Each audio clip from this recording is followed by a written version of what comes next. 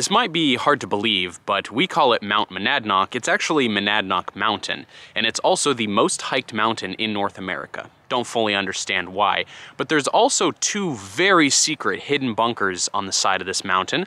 One is called and the other one is known as you can find footage on YouTube of people visiting these bunkers, but you cannot, at least to my attempt, find out where they are without either knowing or being a very experienced Monadnock Mountain hiker.